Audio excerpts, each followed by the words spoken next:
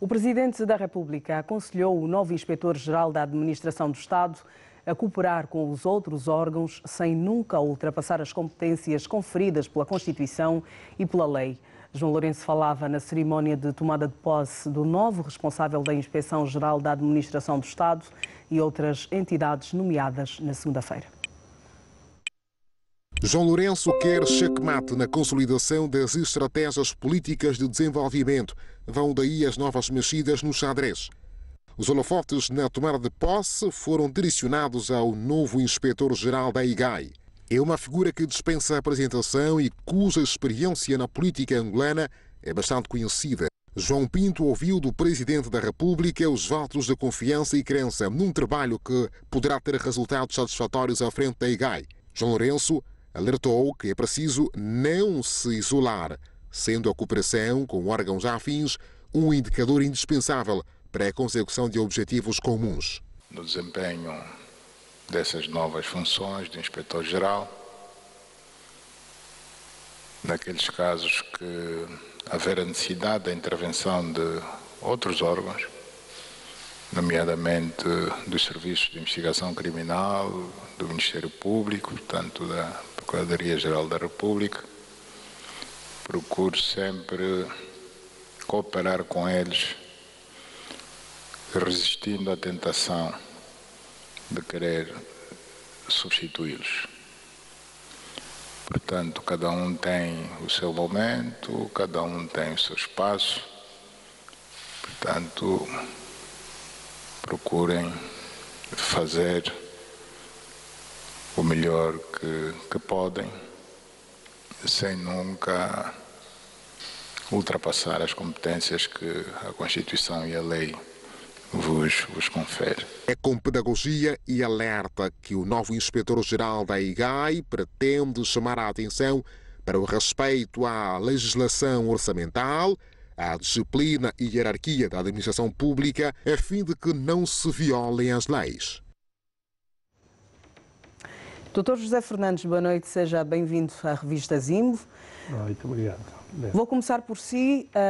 A IGAI tem novo inspetor-geral, o Dr. João Pinto, uma figura eh, conhecida eh, no país, quer pela, ah, pela docência, um homem ligado à academia, mas é também um político fervoroso. Vimos, enquanto deputado, representar a bancada parlamentar do MPLA agora nas vestes de hum, inspetor-geral da Administração do Estado, substitui no cargo Ângelo da Veiga Tavares, que esteve hum, a, assumir este cargo desde junho de 2023 até uh, há uma semana, mais ou menos. Quero ouvi-lo. É verdade, Leida. Boa noite aos telespectadores e obrigado pelo convite de estar aqui. É, é, o IGAI, em menos de sete meses, tem um novo inquilino e o perfil do professor João Pinto, como disse, é bem conhecido, é uma pessoa que tem uma formação técnico-profissional muito sólida, é jurista, é professor universitário, foi deputado e quando esteve no Parlamento lidou com muitas matérias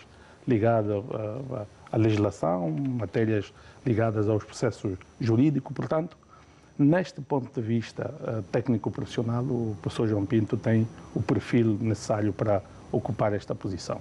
Há, uh, neste processo todo, vantagens e desvantagens. Uh, uma das vantagens é essa que eu me referi, a capacidade técnica que ele tem, o facto de ele uh, ser professor de matérias muito determinantes no contexto da produção do conhecimento. E tem também uma desvantagem, que é o facto do professor João Pinto nunca ter trabalhado na função pública, pelo menos nos níveis de uma posição como esta que lhe é atribuído agora. Esta Comparando... será, se tanto, desculpe interrompê-lo, a maior das preocupações em Sim, relação é à assunção deste, deste Comparando as vantagens e desvantagens, penso que as vantagens têm um maior peso relativamente a esta desvantagem. Daí eu pessoalmente esperar que o professor João Pinto consiga desempenhar com fluidez a sua tarefa, porque uh, uh, uh, os aspectos técnico-profissionais e o perfil que ele tem enquanto indivíduo que conhece o sistema jurídico do nosso país, e lembro que no Parlamento ele foi vice-presidente também uh, da bancada do, do MPLA, portanto, ele tem essa questão técnica muito sólida e isto rebate essa desvantagem que eu me referi. A minha perspectiva é que o professor João Pinto consiga, de facto, elevar o IGAI aos níveis que toda a sociedade espera que essa instituição esteja.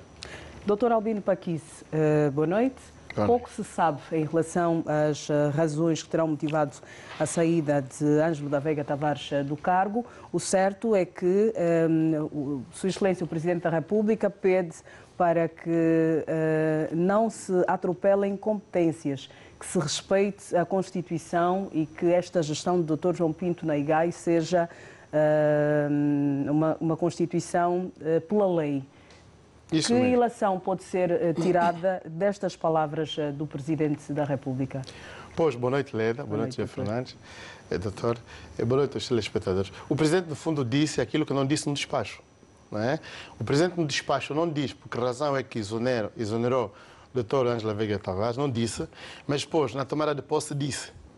Porque disse que não, ou seja, tens que resistir à tentação de não se miscuir no trabalho do Serviço de Investigação Criminal e da PGR. No fundo, disse aquilo que ele não disse no despacho. Porque o Presidente terá entendido, aliás, eh, pelo menos aquilo que é o seu discurso, que o, o antigo, portanto, o antigo homem forte da AIGAI, que ficou apenas sete meses, né, se estava a imiscuir em assuntos que não eram da sua natureza. Por isso o Presidente diz, eh, Dr. João Pinto, a gente conhece de facto eh, a tua veia acadêmica, sabemos que és um grande acadêmico, mostraste isso no Parlamento, és do partido, e o Dr. José Fernandes faz aqui uma, uma abordagem também interessante, que é, o Dr. João Pinto defende o MPLA. Ele é do MPLA, é uma pessoa que defende o MPLA. Independentemente de ter muitas vezes ideias contrárias ao próprio Presidente João Lourenço, que ele entende que não é, na minha visão, ele não é um yes man nesse sentido e algumas vezes, algumas vezes não está de acordo com aquilo que são as posições do líder, mas para todos os efeitos ele defende o MPLA, é do MPLA. Então, isto faz também dele, primeiro ser um grande acadêmico, naturalmente, que a gente conhece em várias leads e tivemos com eles em vários debates, faz dele uma pessoa, na minha visão, apropriada para esse cargo. Eu entendo assim, por duas razões simples. Primeiro, porque como aliás diz o Dr. José Fernandes, e também disse o Presidente, certamente, que ele é, um, é uma espécie de recruta. Recruta por quê? Porque nunca trabalhou no governo, nunca exerceu cargos do governo, teve sempre no Parlamento. Ou seja, eh, se fosse na vida militar, seria uma espécie de. É mesmo recruta, né? que tem que se rapar o cabelo não sei o para depois estar aí a fazer recruta. Mas há aqui uma coisa interessante: que ele não vai trabalhar sozinho. Não vai trabalhar sozinho porque tem à volta dele, naturalmente, uma staff que já há muito tempo conhece a IGAI. Ele vai entrar como um homem que conhece a lei. Mas o, o, o presidente fez um, dele um aviso muito interessante. Doutor João Pinto, não corra o risco de te miscuires em assuntos que não são da tua natureza. Você vai inspecionar aquilo que são as atividades do executivo, inspeciona, mas depois há quem vai fazer a investigação que você não pode fazer, que é o Serviço de Investigação Criminal e a Procuradoria-Geral da República. Devido a isso, sem nos esquecermos que a IGAI, eh, eh, portanto, é uma, depende da administração do Estado e não é um ente independente do Estado. E aqui há muita gente diz, ah, mas ele vai conseguir, não vai conseguir. Ele vai conseguir na medida em que primeiro ele fizer o seu trabalho e depois colaborar com os outros órgãos. Este é o meu entendimento. E penso que o Presidente terá feito uma escolha aqui interessante. O outro lado é esse. Nem todo mundo deve ser escolhido da governação quando nós estamos no mesmo partido. O, o partido não pode trabalhar apenas com aqueles que dizem sim, Presidente. É preciso que trabalhe também com aqueles que dizem, olha, o caminho talvez não seja este e o, e o, deputado João Pinto vai ser colhido, naturalmente, numa altura em que nós, inclusive, ele não foi, não foi como deputado agora no, no segundo mandato do presidente João Lourenço, e eu fui uma das pessoas que disse, quer dizer, não se pode perder uma pessoa como João Pinto na deputância, porque consegue ler 100 páginas em dois dias. Portanto, isso substitui. Isso faz muita diferença. Ter uma pessoa como João Pinto que reflete e pensa e lê faz muita diferença num governo. Portanto, eu penso que o presidente aqui acertou em buscá-lo. Agora, vamos ver. Tem que obedecer regras. Uhum. Há regras e ele tem que seguir as regras. Mas também, Leda, deixa só fazer uma parte disso. É preciso lembrar-me, e temos essa tendência no país, as instituições têm atribuições que são muito claras. Exatamente. Não são as pessoas que fazem as instituições. Nós estamos a falar o líder de uma equipa, no caso o professor João Pinto, que vai liderar o IGAI, mas não significa que é ele que vai impor a vontade dele ou a, a, a, o, o, estilo dele lá. Não, porque o IGAI tem atribuições muito claras. Tem normas, tem regras que, independentemente de quem for o seu gestor principal, devem ser seguidas. E há uma outra coisa que nós devemos separar, é a questão do governo e do partido. É bom que esse aspecto seja claro. Às vezes nós temos muita dificuldade, algumas pessoas têm muitas dificuldades para separar esse, esses dois entes, mas claramente é preciso fazer essa separação. O governo é o governo, o partido MPLA é partido MPLA. Embora o partido MPLA, claramente sabemos, é que o partido que suporta o governo. O governo. Exato.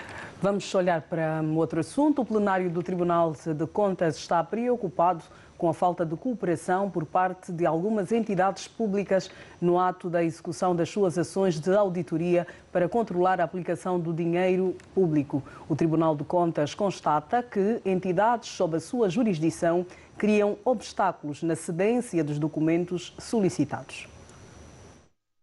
Esta é a primeira sessão plenária ordinária do órgão supremo que tem a missão de controlar a aplicação do dinheiro público. Os juízes, conselheiros e procuradores-gerais adjuntos da República, que compõem o plenário, analisaram vários assuntos no âmbito do controle das finanças públicas e da vida interna deste Tribunal Superior. No exercício das suas ações de controle, o Tribunal de Contas tem constatado com preocupação que entidades públicas têm criado obstáculos na cedência de documentos solicitados pelos seus auditores. No entanto, a lei é clara. Toda entidade pública ou privada que faça gestão de dinheiro público tem o dever de cooperar com o Tribunal de Contas no ato das suas ações de controle. Mas nem sempre assim acontece, tal como confirma Olinda Cardoso, juíza conselheira do Tribunal de Contas. O Tribunal de Contas tem o direito à cooperação das entidades públicas e privadas e, por outro lado, essas entidades públicas devem obrigatoriamente e sempre que forem solicitadas prestar informação transparente sobre as irregularidades que o Tribunal de Contas deve apreciar e de que tomem conhecimento no exercício das suas funções. O Tribunal de Contas pondera, dentre outras medidas de responsabilidade financeira e penal, sancionar com multas as entidades que desobedecem o dever legal de cooperação com o órgão supremo que controla a aplicação do dinheiro público. Doutor Albino Paquis, cabe ao Tribunal de Contas, de facto, controlar a aplicação do dinheiro público, mas diz uh, encontrar dificuldades. Como é que se resolve isso? Bem, olha, a nossa organização, uh, o nosso sistema político uh, tem um problema que é grave. Aliás, os, os constitucionalistas estudaram isto e nós temos entendido que aqui há um problema que é, todos aqueles que estão no governo são auxiliares do titular do Poder Executivo. E, eh, para todos os efeitos, pois embora nós tenhamos a separação de poderes, que é constitucional, isso é verdade, mas eh, nós não temos o que existe em outras organizações governamentais, onde um ministro possa ser chamado a qualquer hora. Nós não temos isso. Nem pelo Parlamento, é? muito, também nem por entidade como é o Tribunal de Contas. Daí que nós há pouco tempo falamos sobre a questão da, da Inspeção Geral do Estado, mas aqui o problema que se cria é esse, porque por conta de um acordo 319 que a coisa danos foi assinado por um ilustre, e, portanto, juiz-presidente do Tribunal, do Tribunal Constitucional, que, na verdade, eh, não, não acabou com as comissões parlamentares de inquérito, por exemplo, mas tirou a possibilidade de os ministros irem para o Parlamento, porque isto significava chamar o Presidente da República no Parlamento. E como eles são apenas auxiliares, não podem, de alguma forma, eh, eh, digamos assim, expor-se a toda a investigação que possa ser feita, porque, no fundo, era era, ou seja, indiretamente questionar aquilo que o Executivo está fazendo na pessoa do Presidente da República. Então aqui é onde surge o problema. Mas desse jeito não se, se um Tribunal de Contas, como o Tribunal mas aí é onde está a questão. Se um Tribunal de Contas tem essa dificuldade para pedir contas a uma instituição pública e ela se pode negar, porque ou está protegida por alguém, ou ela própria diz eu não tenho competências para isto, então nós temos aqui um problema. É por isso que muitos entendem que era preciso que, primeiro, o executivo se propusesse não é, a, a de alguma maneira, é, é, a prestar contas. Porque assim, porque quando não se presta contas e um Tribunal de Contas vem fazer essas declarações, significa que não há transparência nos atos do Executivo. Isto é um problema grave. E a única entidade que, neste momento, aliás, na nossa Constituição, gere o dinheiro público é o Executivo. Então, é uma chamada de atenção também ao Executivo, no sentido de, e não podemos nos esquecer que a figura que hoje dirige o Tribunal de Contas, o Tongunza, vem da Inspeção Geral do Estado, que fez um trabalho muito interessante e continua, de facto, a fazer o seu trabalho, portanto, no Tribunal de Contas. Isto é uma chamada de atenção ao Executivo no sentido de se predispor a que o Tribunal de Contas não tenha dificuldades para fazer o seu trabalho. Doutor José Fernandes, eh, quero ouvi-lo. Um, tornada pública esta dificuldade do Tribunal de Contas em exercer o seu trabalho, é ou não uma situação considerada grave? Leda, essa questão não é nova. Já em 2016, se nós nos lembrarmos, essa questão foi colocada e levantada com um impacto muito grande no Tribunal de Contas. Estamos a falar há oito anos atrás. Portanto, não é, não é que estamos perante uma novidade, é, uma, é um problema real que o nosso sistema uh, vive e, de, de facto, oito anos depois, eu pensava que essa dificuldade já foi ultrapassada. E, pelos vistos, não foi ultrapassada. É este que é o grande calcanhar daqui, é aqui onde nós temos que nos debater. Porque, note, o, o Tribunal de Contas tem que fiscalizar a legalidade dos atos de gestão financeira e administrativa do Estado e demais instituições públicas e privadas que a lei determinar. Portanto, estamos a falar da fiscalização do dinheiro de todos nós angolanos. Neste ponto de vista, eh, eu não vejo como é que uma instituição pública cria dificuldades a uma entidade como o Tribunal de Contas, até porque, eh, embora o doutor Paquis falou disto, da separação de poderes, dos três poderes que existem, o legislativo, o judicial e o, e o executivo, mas há uma, na Constituição também prevê, uma eh, premissa de colaboração quase que obrigatória entre esses três poderes. O que é que nós pensamos? Se existe uma instituição do Estado que, uh, do governo que se nega a prestar a devida colaboração a uma instituição como o Tribunal de Contas, este gestor desta empresa, primeiro, tem que ser responsabilizado, porque o Tribunal de Contas tem mecanismos legais também, e como foi dito, para acionar a lei. Portanto, eu acho que também este é um falso problema.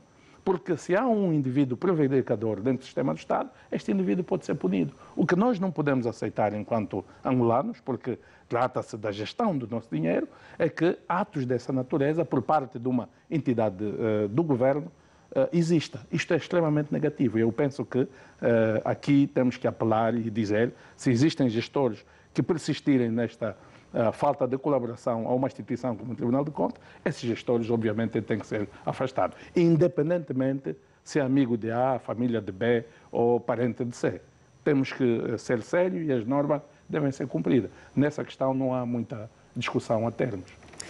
Olhamos para uma outra matéria. O secretário do Presidente da República para a Reforma do Estado esclarece que as alterações orgânicas pontuais efetuadas no Executivo visam imprimir maior dinâmica na ação governativa. Falando em conferência de imprensa, Pedro Fiette recordou que o Conselho de Ministros apreciou na sua última sessão uma alteração pontual ao diploma que estabelece o regime de organização e funcionamento dos órgãos auxiliares do Presidente da República no quadro da reforma do Estado.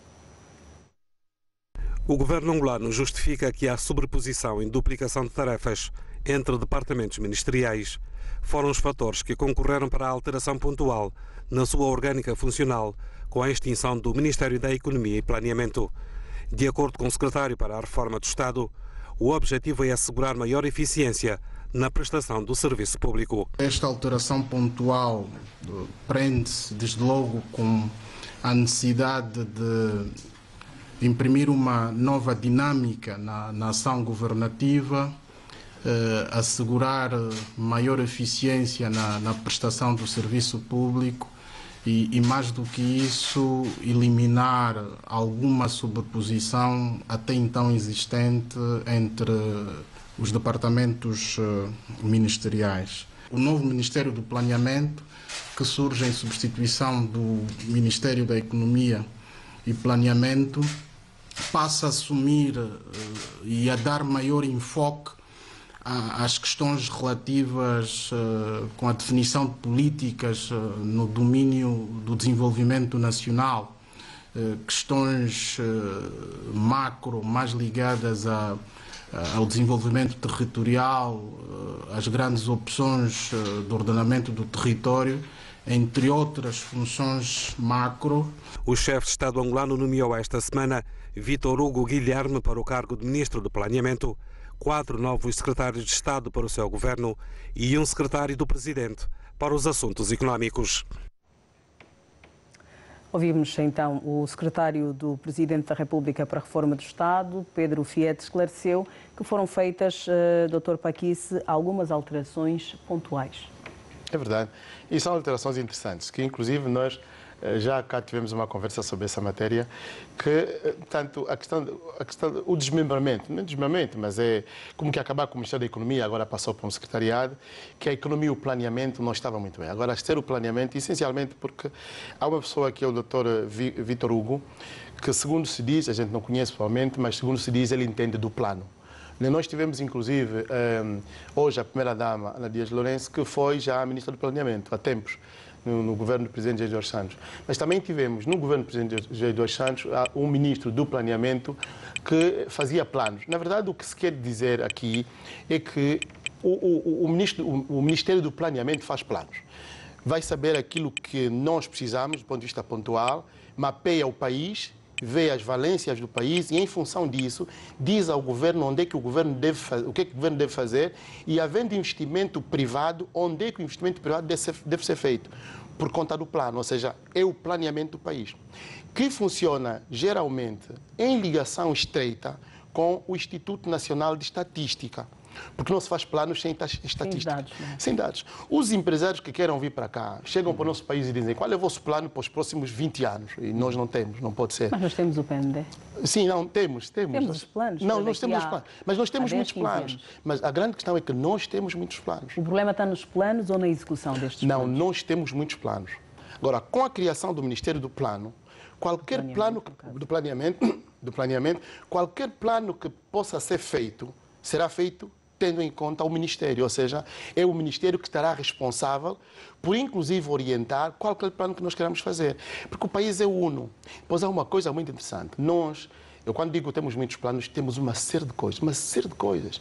E quando vamos hoje, por exemplo, perguntar hum, a questão do plano grão, o que é que os, os, agricultores precisam é de milho. Mas depois nós vamos perguntar qual é o milho que vocês receberam. Ah, nós recebemos 200 sacos de milho e o milho está estragado. Não vale para ninguém não vale para ninguém. Então o entendimento é, o presidente aqui eh, eh, agiu bem em criar esse Ministério do Planeamento e este Ministério é que vai dizer o que, que o Executivo efetivamente deverá fazer para criar desenvolvimento. Vamos esperar que o Dr. Vitor consiga, porque é uma, eh, uma, uma tarefa hercúlea, essencialmente acabar com planos muitas vezes extras que não trazem nenhuma valia naquilo que é a sua própria execução, não é fácil, mas acreditamos que ele vai conseguir.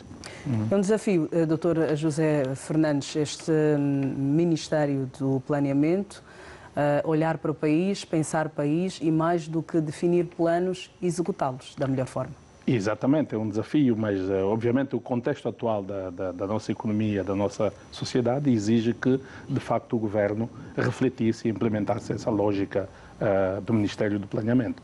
Note que nós estamos num contexto em que temos o Plano de Desenvolvimento Nacional 2022, 2023, 2027. Depois temos o Plano de Desenvolvimento Nacional até 2050, que foi uh, discutido amplamente. Depois temos os planos de integração regional da região da SADEC, temos a Agenda Africana 2060, temos as metas do... Quer dizer, Tal como nós... diz o Dr. Paquis, são muitos Exatamente, planos. são muitos planos, mas o, o, bom é que os indicadores todos estão aí presentes. O que é que o Ministério do Planeamento vai fazer? É também monitorar e avaliar se os vários programas do governo, os vários projetos do governo estão a ser implementados na base uh, com uh, os objetivos e as metas traçadas. E eu penso que esse Ministério do Planeamento também vai ajudar no sistema de monitoria e avaliação, não só uh, fazer uma macrogestão, mas também detectando os possíveis erros no, no processo da implementação desses programas e projetos, corrigi-los com soluções sustentáveis a médio e longo prazo. O doutor Paquis falava do, do, do Planagrão, mas é preciso desmistificar isso. O Planagrão é um macro projeto que foi eh, aprovado para a produção de grãos, mas para o setor eh, privado, para a banca financiar a produção de grãos, não só no leste, mas noutra região. O leste tem benefício porque eventualmente terá ah, taxas mais bonificadas, mas é preciso uma entidade de facto aí concordo consigo, que vai acompanhar o plano agrão, o plano pesca, o plano pecuária, para ver a execução, a implementação desses, desses planos todos. E o Ministério do Planeamento, no perfil que foi dado, e muito bem feito, e, efetivamente responde a esta necessidade de uma entidade que vai supervisionar todo este desenvolvimento nacional. Aqui é uma questão, sabe? Eu quando digo, por exemplo, que nós temos muitos planos, nós temos um problema que é, eu fico com a sensação, e às vezes é engraçado, a maneira como eu olho para isto, que é, nós temos o mesmo governo, que nós que olhamos de fora ficamos com a sensação de que o governo não tem sintonia. Como se fosse um governo de vários partidos políticos, aonde o mesmo partido uhum. político tem vários planos, mas quando os executa, fica-se com a sensação de que existem forças internas que estão contra o plano do próprio governo. Isto isso faz-nos atrasar de tal maneira, gastamos imensos recursos, muitas energias e de repente não sabemos o que fazer. Mas fizemos planos, temos vários planos, mas depois, na, do ponto de vista prático, realmente funcionam muito pouco. E é aqui onde o governo tem que perceber quem é que está à frente do quê e quem é que vai exato, fazer o exato. quê.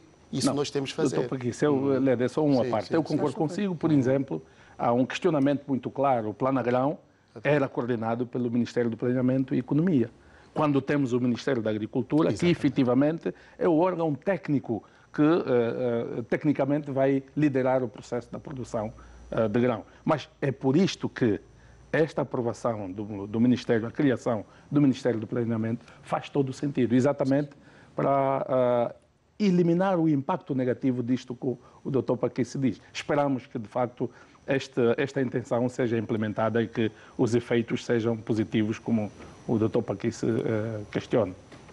Passamos para uma outra matéria. Nos últimos três os preços dos medicamentos subiram consideravelmente e passaram a custar três vezes mais caro. Os farmacêuticos defendem que só com o regime de preços vigiados é que os medicamentos poderão ser vendidos a um preço acessível.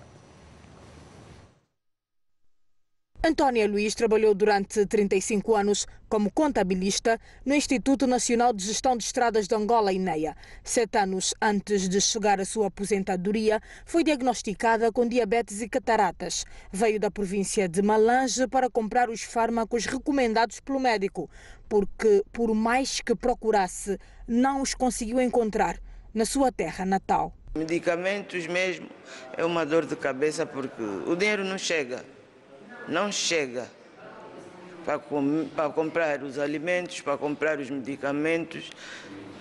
Não sei o que é que vai ser de nós. Quando chegou em Luanda, percebeu então que os medicamentos estão a custar muito mais caros do que o habitual. Com 20 mil ainda conseguia comprar os colírios e os medicamentos para, para as diabetes. Agora já não consigo. Farmacêutica há mais de 25 anos, Ana Leone da Teixeira é diretora desta farmácia situada nas Ingombotas e defende que só com o regime dos preços vigiados é que Angola poderá ter o preço dos medicamentos estabilizado. Olha, nós já vendemos um quartem a 2.500 kwanzas, neste momento estamos a vender a 4.000. E porque nós temos uh, uh, cuidado a comprar. Vamos procurar e tentar desencantar o fornecedor que tenha o preço mais, mais baixo. Preços altos dos medicamentos não cabem na renda familiar. Até os fármacos vendidos no regime de preços vigiados, como é o caso dos antipalúrdicos, também viram seu preço duplicar. Doutor José Fernandes, eh, quero começar por si para olharmos para o preço dos medicamentos, segundo ouvimos, eh, estão cada vez eh, mais caros. Os farmacêuticos dizem que tudo tem a ver com os fornecedores. Eh, também quero ouvi-la em relação a isso, para as doenças, sobretudo os medicamentos para as doenças crónicas tratáveis. Nós temos o dado histórico. Nota que o Instituto Nacional de Estatística publicou dados em outubro de 2023 e o indicador que está lá, de janeiro de 2022 até outubro de 2023, os, os medicamentos, os, os, produtos do setor de saúde subiram 42%. De todos os preços, mais do que os produtos de cesta básica. Estão nos dados do, dos preços uh, publicados pelo Instituto Nacional de Estatística. E essa tendência que, uh, do estudo publicado em outubro de 2023 continua até, estamos no mês de janeiro, obviamente, essa tendência não desapareceu. Agora, temos questões de base aqui que nós temos que colocar na mesa. Por exemplo, uh, uh, sabemos que não existe um regime de preços vigiado dos medicamentos e seria bom o governo, o Ministério da Saúde, enveredasse por este caminho, porque a questão uh, de preços vigiado, principalmente daqueles medicamentos das principais doenças, é extremamente crucial. Uh, desculpe interrompê-lo, a senhora Ministra da Saúde já fez saber que está criada uma comissão exatamente para avaliar esta possibilidade de colocar alguns medicamentos sobre, tirar do regime de preços livres para uhum. o regime de preços vigiados. eu acho que não é uma questão de avaliar a possibilidade, é uma questão de já implementar. É, é uma boa iniciativa do Ministério da Saúde, mas no meu ponto de vista, não estamos a falar mais da avaliação. O Ministério da Saúde tem que implementar a medida. E mais, a, minha, a nota que eu tinha é que o governo não só fazer esse estudo, mas colocar um regime de emergência. Neste momento, nota um elemento fundamental. As pessoas têm os preços dos medicamentos extremamente altos. Se dentro da família tiveres dois membros doentes, a, a, disputa que há entre comprar alimentos e comprar medicamentos é muito grande. E note que o poder de compra, no geral, de todos nós está muito baixo. Daí a necessidade, no meu ponto de vista, de recomendar ao governo que alguns medicamentos sejam distribuídos como, digamos, como, um, como nós fizemos uma assistência alimentar de emergência. É preciso termos uma distribuição de medicamentos de forma emergencial. Para salvaguardar, para salvaguardar a, a vida dos seres humanos. Porque, uh, e sabemos o nosso histórico aqui, nos centros, nos centros médicos, nos hospitais, uh, uh, nos, nos, nos postos médicos, os medicamentos que estão disponíveis, que são poucos, normalmente também são desviados. Por isso chamamos a atenção também ao Ministério da Saúde para essa estratégia de tolerância zero à negligência médica também deve ser implementada nas farmácias dos hospitais públicos. Temos que ter uma, uma política de tolerância zero nas farmácias para impedir que estes medicamentos, que já são poucos, desapareçam dos hospitais públicos. Doutor Albino Paquis, quero ouvi-lo também. Existem, e nós eh, passamos isso na reportagem, pessoas com doenças crónicas eh, tratáveis, mas que não conseguem adquirir os medicamentos, por exemplo, para a hipertensão, para as diabetes, para medir o nível de glicémia que as agulhas que se usam, o aparelho que se usa, acabam por estar com preços de, que vão uh, acima do dobro. Sim. Nós que temos famílias, familiares que têm diabetes, temos cerca de 4, 5, 6 máquinas em casa, porque de cada vez que a gente vai, eh, portanto, comprar lâminas, aquelas lâminas para glicemia apresentam outras lâminas que não cabem na máquina que a gente comprou. Portanto, é um bocadinho sofrível, né? Eu acho que nós aqui, estou de acordo com o que está a dizer o Dr. José, é preciso que o Ministério tome conta dessas questões. Eu fiquei de facto, eh, assim, muito tocado com a senhora que veio de Malange, não é? Penso que veio de Malange, na reportagem que se passou, e que estava à procura de um medicamento que não existia em Malange, só existia cá em Luanda. Quer dizer, fazer uma distância de Malange para cá, para comprar medicamentos, eu acho que é um excesso. Acho que é um excesso. Depois uma outra senhora, na reportagem também passou a semana passada, precisava de um medicamento para a filha e teve que gastar cento e tal mil kwanzas já estamos com um salário muito baixo. É a máquina baixo. para nebulização, a Para nebulização, exatamente. Cento e tal mil quantos. Nós temos que ter sensibilidade. E sabe, eh, andamos a fazer um estudo sobre a matéria. A ministra que mais aparece na, na, na televisão hoje é a ministra Silvia Tucuta. Por um, por um bom motivo que a ministra tem andado imenso nos hospitais e é a ministra que mais aparece. É a servidora pública que mais está na televisão. Mas o meu entendimento tem sido, ao mesmo tempo que a ministra faz isso, também podia ver a questão dos medicamentos, porque a reclamação dos medicamentos não é de hoje. Não é de hoje que nós estamos a reclamar de medicamentos, não é? E países como a Namíbia, aqui ao lado, África do Sul ao lado, Botsuana, aqui, Zâmbia ao lado, nos superam nesta matéria. Eu acho que aqui é uma responsabilidade do governo. Se nós não conseguimos abrir fábricas aqui, porque isso também dos farmacêuticos particulares fazem esse trabalho, pelo menos o governo tem que garantir que não haja aquilo que o doutor José acabou de dizer agora. Nós temos uma máfia montada nos medicamentos. A máfia montada. Sendo que nós podíamos receber os medicamentos no hospital, mas aqueles não estão no hospital porque estão nas farmácias. Alguém os tira do, do sistema público para os levar no sistema privado. Alguém está a fazer isso. Quer dizer, havendo expensão da saúde, nós temos que garantir que os nossos familiares, que efetivamente o Estado já compra medicamento para eles, então sejam eles a receber. Ouvimos Porque agora uma gente... matéria, hum, a informação foi dada pelo Sr. Secretário de Estado da Saúde, de que serão distribuídos 7 eh, mil, uhum. mais, acima de 7 mil kits de medicamentos de forma gratuita nas unidades eh, sanitárias do país. Pois, são... A, a nível das 18 províncias. A gente sabe disso. É que os medicamentos são sim distribuídos de forma gratuita, são distribuídos. E nós, a população não e, tem acesso. E nós temos experiência disto, de pessoas que morrem no hospital, havendo medicamentos lá no hospital porque os médicos não cedem aquele medicamento. Ou levam o medicamento para, como está a dizer o doutor, para as farmácias privadas, ou então ficam para eles. Isto não pode acontecer.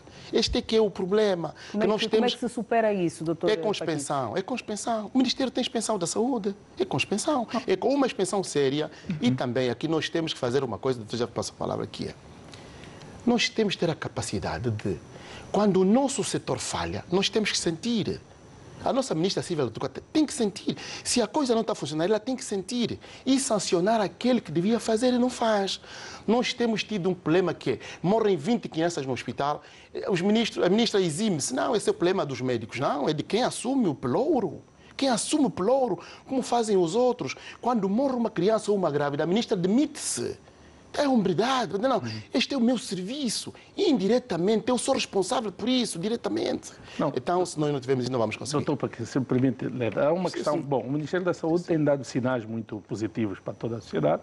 Aliás, agora essa questão da negligência médica foi feita uma estratégia que é pública, está sendo. Porque há denúncia pública Exatamente. também, o cidadão vai essa tendo tolerância, essa tolerância da possibilidade zero. que tem de denunciar Exato. É E uh, eu, por acaso, não tenho os detalhes, mas eu uh, entendo que, eventualmente, Nesta estratégia do Ministério da Saúde, onde está uh, tolerância zero à negligência médica, também encontra-se o processo de tolerância zero sobre o desvio de medicamentos. Portanto, eu estou em crer, doutor Paquis, que uh, esse aspecto do, do controle, porque se nós estarmos a falar de dispensão, quadros para fazer essa expansão e tudo, acho que temos que inserir essa questão da gestão dos medicamentos no processo atual que está a decorrer de tolerância zero sobre a negligência médica. Nós temos que entender que essa questão da disponibilidade do medicamento a um utente também deve ser entendida como negligência médica. E aí criminalizar mesmo. Não é uma questão de dizer, sim, pega, não, põe, põe o homem, põe na cadeia. Pois, mas acabou. a questão é, é, que o governo gasta dinheiro com isso. É? Exatamente. É? O governo gasta muito dinheiro com isso. O governo compra, de facto, medicamentos, eh, são subvencionados. O governo está a comprar medicamento para isto agora. É evidente que eu, aqui, as medidas, e a ministra tem, eu não estou a dizer, por exemplo, que a ministra não tem, não tem estado a tomar medidas sérias, tem estado a tomar medidas sérias, é verdade. Mas aqui a sanção tem que ser mesmo difícil para as pessoas que ficam com os medicamentos. E, e não vamos trazer aqui casos concretos, porque nós temos tido muitos familiares doentes. De repente a gente, mas esse medicamento esteve aonde? Esteve no hospital. Então, mas o meu familiar estava para morrer. Estava onde o medicamento? Quer dizer, é, é, são coisas que só com uma expensão séria é que nós chegamos lá, senão não conseguimos. A cidade de Luanda está a celebrar 448 anos, numa altura em que centenas de automobilistas dizem não ser fácil transitar pelas avenidas da capital do país devido ao trânsito caótico. O comportamento de alguns condutores, fundamentalmente dos taxistas, e o mau estado das vias são tidos como alguns dos motivos para os vários constrangimentos na circulação rodoviária. O movimento rodoviário na província de Luanda é caracterizado por uma grande agitação, principalmente nos dias úteis, entre buracos na via, asfalto envelhecido em alguns pontos e ausência de sinalização. Centenas de automobilistas que circulam pelas avenidas consideram um grande desafio transitar na capital do país. Não, não, não é fácil. Primeira coisa, nós enfrentamos muito obstáculo na via, não é? engarrafamento, um, vai o trânsito. E segunda coisa, não temos paragem aqui na via, não é? Qualquer sítio que nós paramos, se bastar aparecer um carro da polícia, vai nos entrepelar, pedir as documentações, não é? Os taxistas são apontados como um dos maiores mentores dos constrangimentos no trânsito automóvel em Luanda. Estes, por sua vez, justificam a ausência de paragem para embarque e desembarque como um dos fatores que tem contribuído para este cenário. Aqui nós ficamos mais tempo parados nesse trânsito, aqui no lado do serviço, do que na via pública. Para dar solução em alguns destes problemas, o governo provincial está a desencadear o plano de reordenamento do trânsito em Luanda. A prioridade começa com a formação de alguns intervenientes, como por exemplo os mototaxistas. Sobretudo aqueles que ainda persistem em circular sem que o prefeito esteja habilitado, que cometem manobras que embaraçam a normal circulação do trânsito. Temos estado a realizar formações regular a nível dos municípios que compõem a província de Luanda. O governo provincial garante igualmente que o sucesso do plano de ordenamento do trânsito depende não somente das políticas a serem implementadas, como também da consciência de cada automobilista. Luanda, a cidade capital do país, com os seus desafios diários e quem vive em Luanda conhece perfeitamente muitos destes desafios. Doutor José Fernandes, se lhe pedisse para enumerar uh, os grandes desafios uh, de Luanda e as grandes alegrias que lhe proporciona Luanda, o que é que nos diria?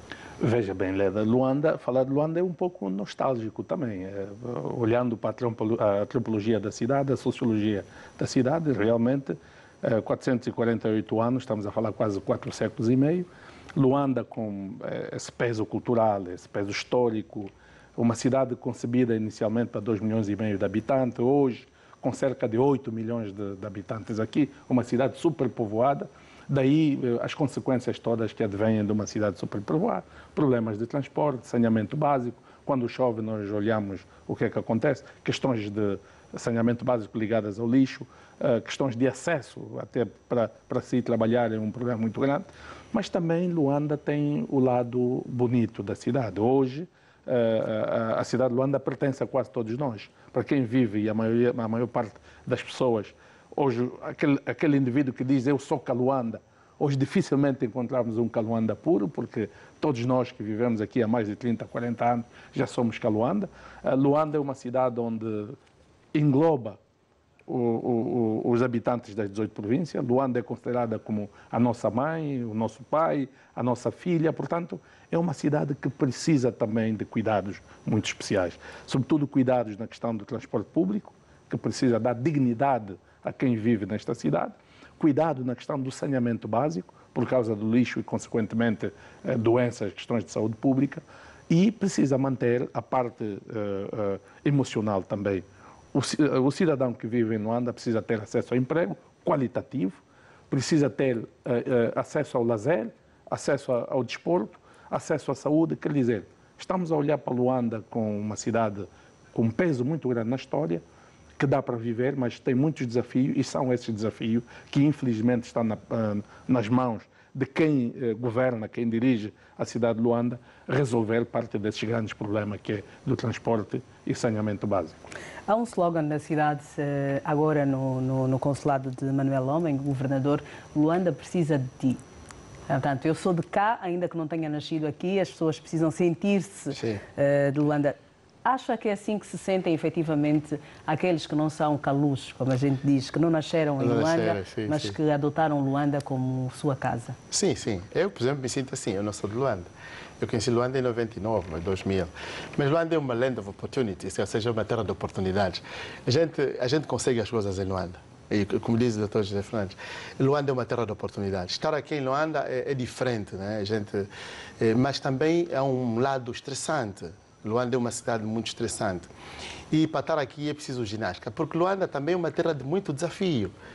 É, é muito competitiva, Luanda é muito competitivo e o indivíduo ou se levanta de manhã para lutar ou então fica a dormir e, e, e os outros deixam a léguas de distância. E é essa coisa. Agora, eu quero dar aqui uma nota positiva. O, o novo governador, com esse lema, tem feito uma coisa interessante, que é, é jovem, quando ele é jovem, encontrou muitos problemas. Luanda tem muitos problemas, como diz o Dr. Fernando, tem muitos problemas. Mas os problemas de Luanda também são derivados do comportamento social. Aliás, o doutor é sociólogo, percebe muito melhor do que eu. Há um comportamento em Luanda, de facto, que nós não encontramos em todas as outras províncias. Não encontramos. A maneira como, por exemplo, não, as pessoas conduzem em Luanda não conduzem em, em nenhuma parte mais de Angola. Tanto nós, por exemplo, quando estamos em Benguela, quando estamos portanto, no Namibe, estamos no Ambo, estamos no Bié, vemos uma pessoa conduzindo, ah, este está vindo Luanda. Está estressado, ele está estressado. No fundo, o pessoal de Luanda, as pessoas precisavam sempre de uma terapia, um acompanhamento psicológico, a cidade é estressante. Agora, há aqui desafios interessantes que o primeiro deles é os transportes públicos. Mas isso era, nós podíamos conseguir fazer isso, é deslocalizar a cidade. Eu, por exemplo, não consigo compreender hoje que o governo tenha conseguido construir uma centralidade como os chequeles e os quilambas e muitos serviços continuam na baixa. Por quê?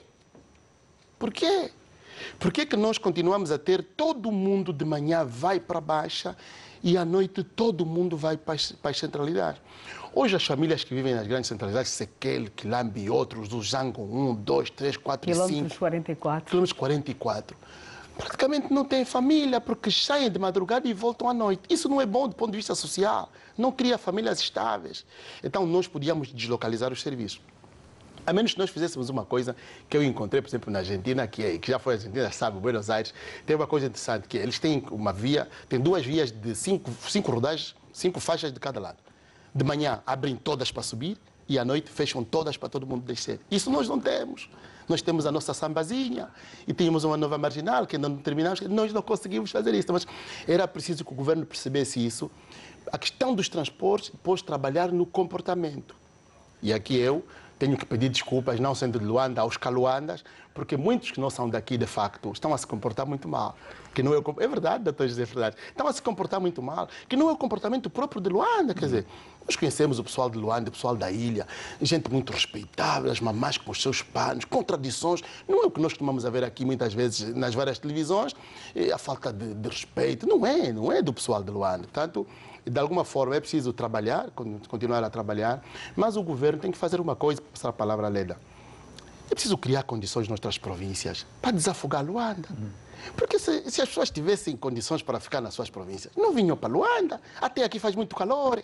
Estás a ver? Até aqui faz muito calor. Quem não tem ar-condicionado tem que estar tá transpirar toda a noite. Quer dizer, as pessoas estão aqui porque não têm condições. Então, mesmo os jovens que praticamente todos os dias morrem, três, quatro jovens nas motos, se tivessem trabalho nas suas províncias, não estavam aqui. Muito obrigado pela cidade que nos acolhe há muito tempo, mas se a gente tivesse condições, voltávamos nas nossas províncias, nós ficávamos aqui. Essa Voltamos é sobre uh, os desafios e ninguém falou na questão da segurança. A segurança não é preocupação em Luanda? Bom, a segurança pública tem o que se diga, uh, Leda. A questão, aliás, os relatórios da polícia são muito claros. Nós não estamos numa situação de insustentabilidade do ponto de vista de segurança pública. Luanda ainda é uma cidade segura, apesar dos crimes que têm acontecido, que normalmente a polícia tem acompanhado e se olharmos para o nível de resposta que a polícia dá na, na, na clarificação desses crimes, tem percentagens muito altas. Este é um bom indicador. Agora, é Mais do que clarificar crimes, a, não, mas, a população quer que eles não é, aconteçam. É impossível termos uma sociedade de crime zero. É extremamente difícil. Mas podemos, podemos baixar os números. Podemos baixar os números e é isto que, que, que tem-se feito. Agora, é preciso investir na tecnologia. E deixa-me fazer uma parte. Há pessoas que dizem não, o orçamento de defesa e segurança tem que ser reduzido. Não. Nós temos que investir na defesa e segurança porque a segurança de todos nós é fundamental para o desenvolvimento econômico, o desenvolvimento social e o desenvolvimento político. Uma cidade como Luanda, a tecnologia de, de, de controle de segurança tem que ser implementada em todos os bairros de Luanda. E isso é investimento que custa dinheiro. Sem tecnologia hoje, dificilmente teremos a segurança como a, a queremos. Mesmo a questão da redução dos crimes, sem tecnologia é extremamente difícil. Vamos olhar para mais uma matéria. O Presidente da República avaliou a cooperação estratégica com os Estados Unidos da América durante a audiência concedida a Anthony Blinken. Em declarações à imprensa, Anthony Blinken considerou essencial o esforço de João Lourenço para o alcance da paz no leste da RDC e o incentivo ao diálogo entre o Ruanda e a República Democrática do Congo. O encontro entre o presidente da República e o chefe da diplomacia norte-americana mostra o firme engajamento dos Estados Unidos e Angola no fortalecimento das suas relações de cooperação. No Palácio Presidencial, a Cidade Alta, João Lourenço e Anthony Blinken olharam para o futuro das relações bilaterais e os compromissos assumidos na Cimeira Estados Unidos-África e no recente encontro entre o chefe de Estado angolano e o presidente Joe Biden na Casa Branca. É um grande prazer fazer a minha primeira viagem a Angola como secretário de Estado norte-americano e especialmente quero agradecer ao presidente Lourenço por esta reunião extremamente produtiva que tivemos, dando seguimento à reunião que tivemos com o presidente Biden em Washington há dois meses. Estou agradecido ao presidente por todo o tempo que dedicou a esta reunião. Estou aqui em Angola e em África como parte desta viagem tão importante porque vemos o futuro entre a África e os Estados Estados Unidos como um futuro conjunto e de prosperidade. Na Casa Branca, em novembro, o presidente Biden reafirmou ao presidente Lourenço que este é um momento histórico na parceria entre os Estados Unidos e Angola. Hoje, as relações estão mais fortes, são mais importantes e mais abrangentes do que em algum outro momento desde que nossos laços intensificaram há 30 anos. O presidente Biden pediu que viesse a Luanda para aprofundar e acelerar os nossos avanços avanços neste sentido. Os Estados Unidos da América comprometeram-se a investir 250 milhões de dólares no corredor do Lubito para ajudar a tornar real o projeto de circulação massiva de mercadorias entre Angola, a República Democrática do Congo e a Zâmbia e asseguram ainda o investimento de 900 milhões de dólares no setor das energias renováveis no país. Vimos hum, nesta matéria, Anthony Blinken Uh, esteve em Luanda, na verdade, a fazer um périplo por uh, alguns países africanos. Uh, passou também por Luanda, foi recebido pelo Presidente da República, foi igualmente, manteve um encontro com o chefe da diplomacia angolana, onde também responderam a questões colocadas pela imprensa. Mas vamos começar, doutor Paquice, sobre a avaliação que foi feita a esta cooperação estratégica entre os Estados Unidos da América e Angola. Não existem almoços grátis. Mas, o que é que quer dizer com isso, doutor Paquice? Quer dizer que toda a cooperação tem. Aquilo é, é, é, é ganhar e ganhar, ganha-se lá e ganha-se cá, né? não existem almoços grátis. Mas isso deriva muito daquilo que tem sido o periplo do presidente João Lourenço. E nós temos que reconhecer isso, que do ponto de vista diplomático, o presidente andou demais. Andou. O presidente andou, andou. E foi a Salová, agora, portanto, na última viagem que fez para os Estados Unidos, e, de alguma maneira, eh, os Estados Unidos têm interesse na região, essencialmente por conta daquilo que nós temos representado para a pacificação da região.